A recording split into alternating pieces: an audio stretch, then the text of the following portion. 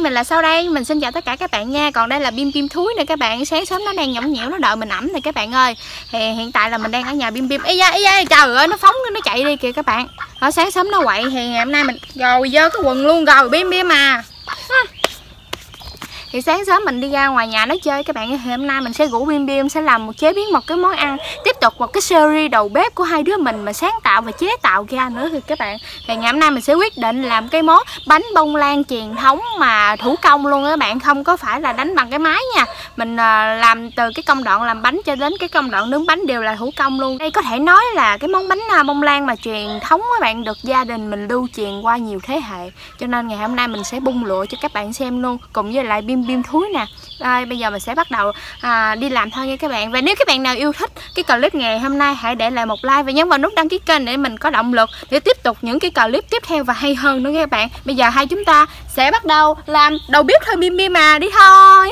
À, các bạn ơi hồi nãy giờ mình định chuẩn bị đi làm đầu bếp đó, thì mình quên mình không có cái tập về. Các bạn ơi nãy giờ mình kiếm lục lọi trong nhà mình hết chân luôn không có một cái, cái tập về nào hết trơn bây giờ mình sẽ quyết định mình đi vô nhà. Mình thấy cái gì dài dài hay là cái miếng gì à, màng màng đó mình sẽ lấy luôn các bạn. Thì hồi nãy mình đã phát hiện ra một cái miếng màng treo tường. Bây giờ mình sẽ vô nhà. Mình trôm của mẹ mình luôn nha các bạn. Các bạn hãy theo chân mình nha. Ê, ê trời ơi con bim bim ê giờ này mày tắm mày. Đi đi làm đầu bếp mà mày tắm mày con này. Ê ê con chịu nổi nữa không? Ê ê tới giờ đi làm đầu bếp mà chị làm vậy đó trời rồi rồi thôi luôn gầu gầu trời ơi chỉ mò giờ này chỉ xuống ao chỉ mò luôn rồi. Vải trưởng. Đây đây cái miếng màng của má mình nè. Bây giờ mình phải nói chuyện nhỏ nhỏ thôi bây giờ mình sẽ gỡ cái cây này ra nha các bạn để mình có thể lấy được cái miếng màng này nè. Mình mới có thể làm đầu bếp được chứ hả? Không mở cửa ra cho tháng sáng vào phòng. Đó mình sẽ lấy miếng này nè đó, ok, men. Mẹ ơi, tha thứ cho đứa con tội lỗi này. Ra sẽ gỡ ra luôn.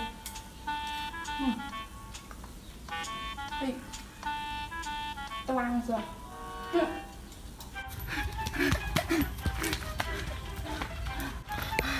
Trong nội ơi. Hên quá. Mẹ bà không có thấy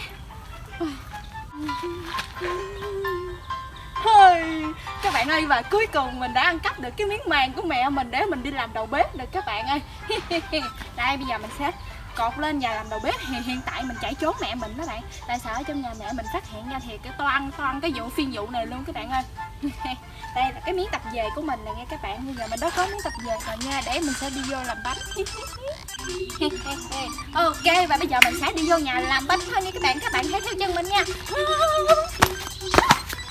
Hey, và đây là các bạn ơi đây là những dụng cụ và nguyên liệu mình đã chuẩn bị ở đây rồi. Nhưng mà bây giờ mình phải bận cái bộ đồ đầu bếp vô nghe các bạn. Đó, bên đứng em nghe bem bem nãy giờ nó mới tắm rửa vô bạn. Đây là cái miếng màng mình mới chôm của má mình nè các bạn. Ừ, giờ mình sẽ cột luôn nha. Để mình à, đánh trứng để tránh cái bị mà trứng nó đập vô mặt đó các bạn đó bây giờ mình sẽ cột lại như thế này. Đó mình đã có một miếng tập về này các bạn ơi. Và bây giờ á mà đánh trứng nhiều khi nó bị văng lên đầu các bạn mình phải đeo kiến vô. Ổ lộn mình phải đỡ nón lên. Đợi đợi nón lên như thế này. Ừ. Đợi nón lên và cho cái trứng nó đừng có đánh, đánh vô mặt nó dội vô mặt mình đó các bạn. Mình sợ như vậy lắm. Trời ơi cái mặt mình nó dạo này nó hơi bự cho nên là mình phải mở cái dây ra. À, ai biểu cái mặt bự quá làm chi? Yeah yeah yeah rồi sáng chị cứ chỉ chút. Đó, và tiếp theo mình sẽ đeo kiến vô. Và đây là cái kiến hồi tiểu học của mình nè bạn, nó rất là sành điệu luôn nè. Bây giờ nó vẫn là còn hot nha, bây giờ mình phải lau chùi, tại vì lâu ngày để trong nhà nó bị đóng gông. Đó, giờ mình sẽ đeo kiến vô.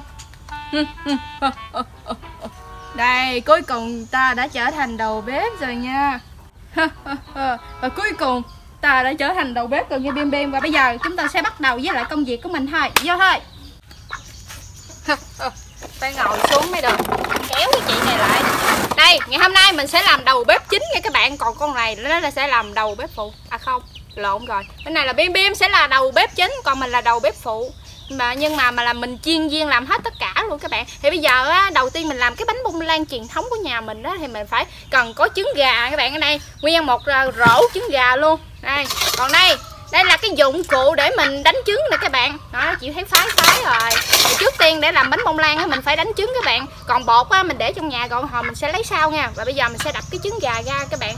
Đó mình chuẩn bị cái tô này đập á có nhiều khi mà cái trứng thúi á mình bỏ qua các bạn. Nhiều khi mà đập không có biết á quất một cái hay một cái trứng thúi là khỏi ăn bánh luôn. Giờ mình sẽ đập trứng ra nè. Bim bim. Bụp.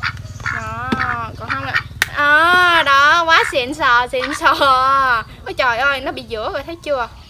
Ê ê ê. Đây cái cái cái cái vỏ mình sẽ để qua nghiêng các bạn. Đó đeo cái đội cái nón bảo hiểm cũng có lợi lắm á bim bim. Đó đó vải chưa? Đơ đơ đơ. Phái phái rồi bim bim ha. Ờ đơ đơ đơ. Ê ê ê ê. Đó. Nè. Oh, wow wow. Ê, ê, ê, cái chị này. Đó giờ mình sẽ bỏ trứng ra. Đó. chị hãy đứng yên mà coi tôi nè. Tôi sẽ quất hai cái một lượt nè. Đó thấy chưa? Ghê chưa? Hình như cái trứng này nó thúi rồi, trứng này thúi rồi, má ơi. Cũng hên nè. Phải hửi coi. Phải hửi hửi vậy mới được. Đó bỏ trứng vào. Chưa? Ừ. đó, quá sành điệu luôn. Wow wow wow. Ừ. wow đơn đơn đơn đơn tôi quýnh chị bể mỏ à. Ừ. Phái phái rồi kinh nghiệm mà. Đã không làm đầu bếp thì thôi, một khi làm là chịu chơi. Đó. Ôi trời ơi, nó cứng á. Ôi ôi ôi ôi, hên hên hên, cái này không có thúi. Tưởng là nó thúi là toan. Cái này ăn không có được, mày ơi. Ok, các bạn ơi. Thì nãy giờ mình đã lột trứng ra rồi nha. Bây giờ tới cái công đoạn tiếp theo là mình sẽ đánh trứng. Đây đây nè khoan khoan khoan. Đây nè đây nè, các bạn ơi, do là trứng nhiều quá, mình để vô một cái thao này. Cái thao này mình đã trà xào bông hai hai chục lớp rồi các bạn, cho nên là nó rất là sạch luôn. Bây giờ mình sẽ đánh trứng các bạn. Đây là cái đồ đánh trứng hiện đại của mình nè. Nó nói chung là được gia truyền cái này là đồ cổ nè các bạn. Được gia truyền qua nhiều thế hệ ở nhà mình nè. Đó. Còn cái này là mới mua sau này thôi. Tại vì à, cái này thì nó muốn rượu rồi, muốn gãy rồi, cho nên là cái này mới mua sau này. Giờ mình sẽ đánh trứng được các bạn. Mình sẽ nhặt lại với nhau như thế này nè. Đó, chơi vậy một lần nó mới đã nó không được. Lâu rồi không có đánh trứng nên nên mất kinh nghiệm, không có kinh nghiệm. Đó. Dạ đó. Giờ mình sẽ đánh trứng là bem bem, hãy coi đại ca đánh trứng nè. Chúng ta sẽ đánh như thế này nè các bạn. Đánh khi nào mà trứng của mình nó bông ra là ok các bạn ơi. Dạ.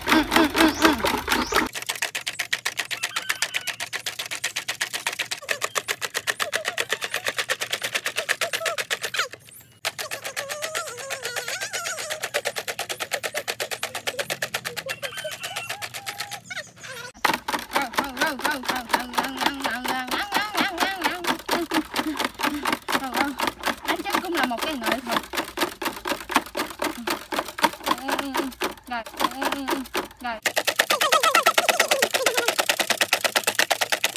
mệt không em em Làm đầu bếp đâu phải dễ đâu Thấy thấy cực khổ chưa Mỏi tay quá rồi.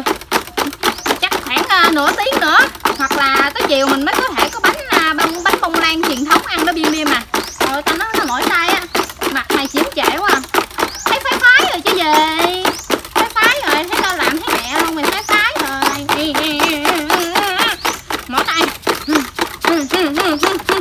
Hãy đỡ tao nghe bim bim. Hãy đỡ tao nghe bim bim.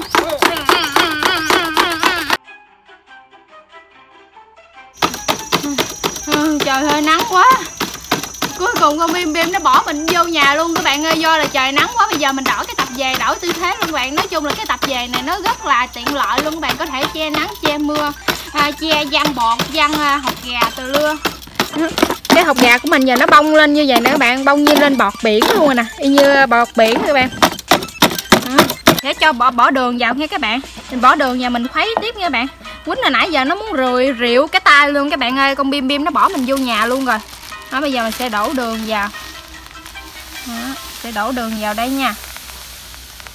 Đó, đổ hết vào đây luôn.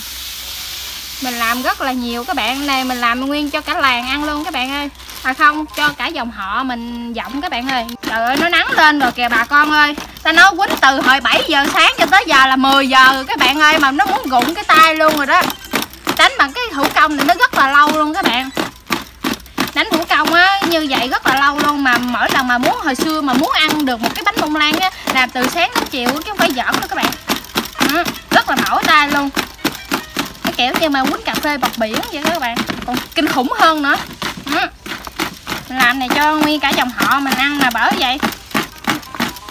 Mổ tay quá. Ừ. ờ ờ nó nói nó mổ tay á. Lúc nãy giờ nửa tiếng rồi bạn? Sau khi mà bỏ đường vào á, nó nói mồ hôi mẹ, mồ hôi con nhưng mà nó đổ.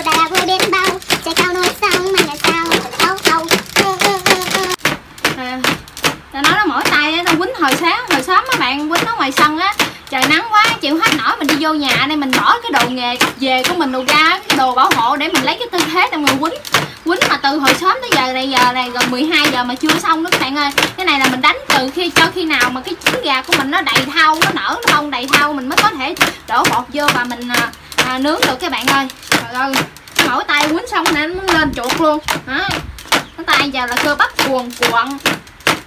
À, à, à, à.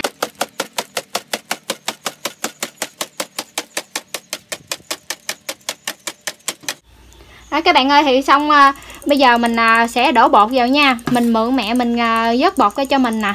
Giờ mình sẽ gây vòng vòng nha cho bột nó đều ra. Trứng mình hồi sớm giờ mình nó đã bông lên à, nửa đầy thau luôn rồi các bạn. Giờ mình sẽ bỏ bột vô và chuẩn bị làm bánh thôi. Đó giờ mình sẽ lấy cái đũa này mình khuấy lên. Khuấy cho nó đều à, bọt ra nha các bạn các bạn ơi thì sau khi mà mình à, trộn bột với lại trứng lại với nhau á thì sớm mình đánh cái trứng thì nó bông lên tới phía trên cái dành này luôn nè các bạn. Giờ sau khi đổ bột vô thì nó đã xẹp xuống như thế này rồi nè. Và bây giờ mình sẽ chờ cho bột à, với lại trứng của cho mình nó hòa quyện một khoảng à, 5 phút nha. Rồi mình sẽ đem đi nướng thôi. Rồi các bạn ơi bây giờ mẹ mình sẽ cắt cái tờ giấy để lót vào cái phần đít nồi các bạn. Là hai cái nồi mà mình đã chuẩn bị sẵn đang hồi mình sẽ nướng cái bánh à, bông lan của mình theo cái kiểu thủ công á hồi xưa tới giờ các bạn đây là cách nướng mà không có cần à, bếp điện hay là cái lò nướng gì hết trơn các bạn. Mình cũng cho ra một cái bánh bông lan thật là thơm ngon. Đó giờ mẹ mình sẽ để vô. Bây giờ mẹ mình đã đổ cái bột à, bánh bông lan vô để nướng nè các bạn. Mình nhờ mẹ mình đổ dùm nha để bây giờ mình quay cho nó dễ các bạn. Mình mẹ mình sẽ để cái phần nhân vô các bạn. Hôm nay mình sẽ làm bánh bông lan nhân thịt nha. Cái thịt này là mẹ mình xào với lại để gia vị thêm á nhưng mà mình chỉ để lên bánh và nướng thôi. Giờ là tiếp theo là mẹ mình sẽ đậy cái à, miếng giấy phía trên.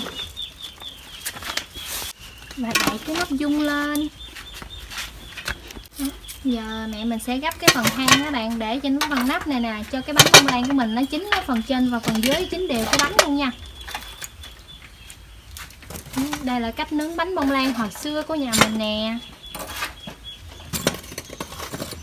À, bây giờ tiếp tục mình sẽ làm tiếp thêm một cái bên nồi bên đây luôn các bạn. Mình nướng hai cái nồi đặng cho nó thật là nhanh nha.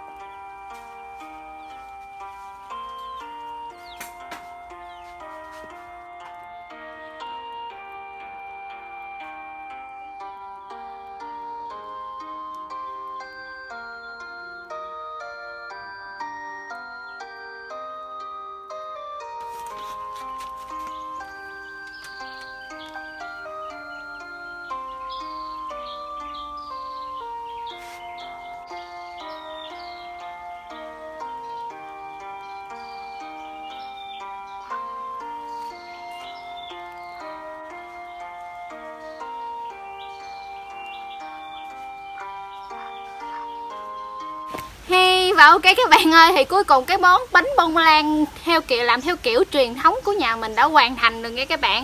Này đây là bây giờ cái tất cả đây là ba cái các bạn ơi còn ở trong nhà mình còn mấy cái nữa. À, mình để chừa cho cha mẹ mình đó bạn. Thôi mình đem ra đây mình trưng bày cho các bạn xem. Ở đây nó hơi nó bị ờ, hơi bị dính cho xíu các bạn thấy trắng trắng nè hay là cái bánh mà nó đẹp nhất mình để phía trên bạn đây là để hành ngò rồi đưa để cho nó đẹp rồi nè nhưng mà giờ nó bị héo hết trơn rồi. Bây giờ bây giờ mình cùng với lại bim bim sẽ thưởng thức nha các bạn. Ừ, nó thơm á. Thì hồi sớm giờ các bạn mình làm á, từ hồi 7 giờ sáng cho tới giờ là 12 giờ. Ở lộn hình như là một giờ mấy rồi đó các bạn ơi. Nãy giờ mình không có coi đồng hồ nữa. Mà bây giờ mình mới có thể thưởng thức được đó bạn. Đây bây giờ mình sẽ cắt ra mình với lại bim bim sẽ thưởng thức cho các bạn.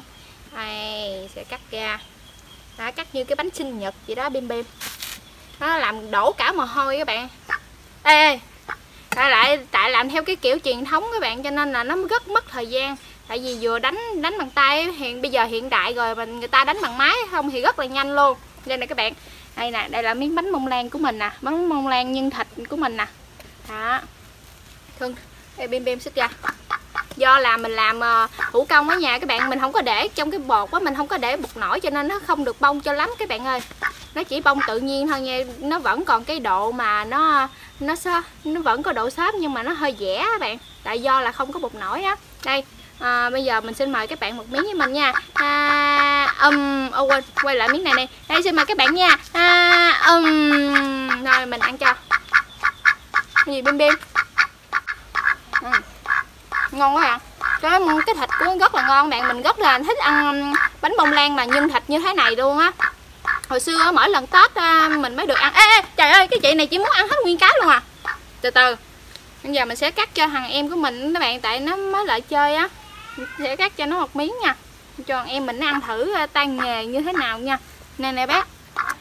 À, còn bánh bim hả? Nè bánh bim. Giờ mình sẽ cho nó ăn nha bạn. Ê ê từ từ nè. Ăn bánh bông lan là cắm uống nước nha. À, thấy không? Nè ăn thịt đi. Nè ăn thịt đi. Nè. Ui giá thịt không ăn mà cắn ăn thịt ta tao. Nè. Đó, mày đặt ăn bánh bông lan xịn sò đó, ăn bánh bông lan tao không cho uống nước đâu nha. Nè. Thử thách ăn bánh bông lan không uống nước nè. Nè. Nghe nói cái hết muốn ăn luôn hả bim bim? Nè. Nè. Nè. Thôi nghỉ luôn đi chị nghỉ ăn luôn đi chị nghỉ ăn luôn đi. Thế bây giờ mình sẽ lau tay thấy chưa? Nói cho nó nghỉ ăn là nó, cái nó vậy các bạn. Đây mình sẽ ăn tiếp tục nha các bạn. Ừ. do là cái bánh này nướng bằng lửa than á, cho nên là cái màu nó hơi bị sậm các bạn. Nó không có như là các bạn nướng bằng cái lò nướng thường. Nhưng thường á, mà nướng cái kiểu mà nướng lửa than thì nó sẽ ngon hơn các bạn. Nó mềm hơn. Nó thơm hơn nữa. Và cái vỏ này đặc biệt, nó hơi giòn giòn các bạn tuyệt vời ừ, ừ, ăn bánh này phải uống nước các bạn ơi. Thường thường mình thấy ngoài chợ bánh mà nó xốp các bạn là do người ta để bột nổi á là bánh nó xốp sọp à. Còn mình đánh rất là lâu luôn các bạn tuy là mình đánh trứng rất là lâu do là mình không có để bột nổi hay quá chất các bạn tại vì bột nổi ăn rất là ăn nhiều á bị bệnh các bạn. Và mình không có để vô. Mình thấy nó dẻ cũng ngon mà. Ừ, ăn tất cả một hơi ừ. ăn này phải uống nước rồi các bạn ơi. Ăn này mà không uống nước là chết.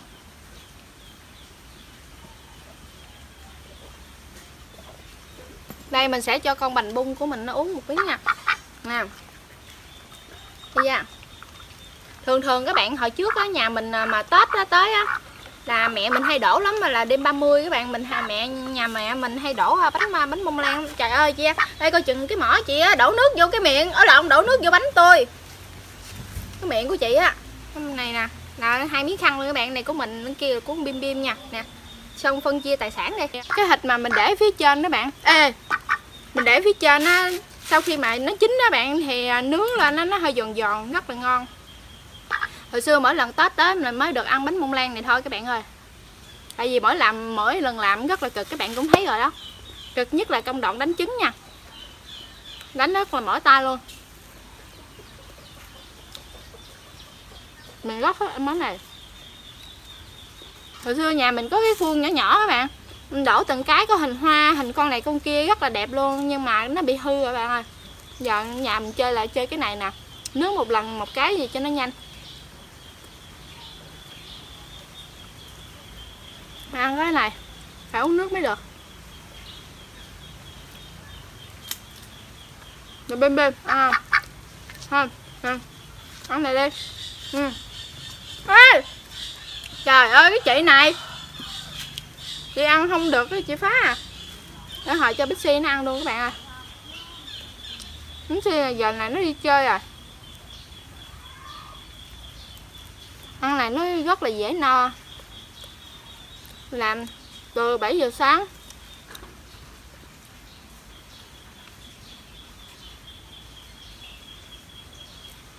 Nó màu nó hơi sậm vậy nhưng mà thật ra nó không có bị khét nha các bạn, nó rất là ngon luôn à, phía bên trong này các bạn. Phía bên trong của nó nè. Ở ngoài thì nó vàng là do mình à, để cái lớp mà cái lớp than ở phía trên mặt á. Cho nên là nó có màu vàng như vậy. Mà nhìn vậy giống cái kiểu mà bánh bông lan sô cô la bạn. Phải ăn một miếng nữa thôi nha. Cắt cho nó đẹp. Uhm. Tuyệt vời ăn mặt trời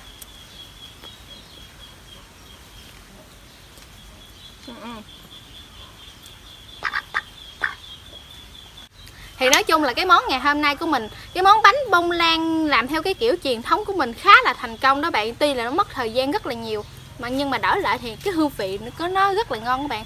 Làm thì à, à, mấy tiếng đồng hồ nhưng mà ăn trong cái vòng có vài phút à, hà bạn ơi các bạn ơi thì chắc bây giờ mình với lại con ờ, Bim Bim á, xin ờ, kết thúc clip tại đây luôn các bạn. Và nếu các bạn nào yêu thích mình với lại Bim Bim xin hãy để lại một like và nhấn vào nút đăng ký kênh. Nhớ nhấn vào cái chuông reng reng để nhận những thông báo từ những video mới nhất của mình và Bim Bim nha. Và bây giờ hai đứa mình xin chào và hẹn gặp lại. Bye bye. See you Karin.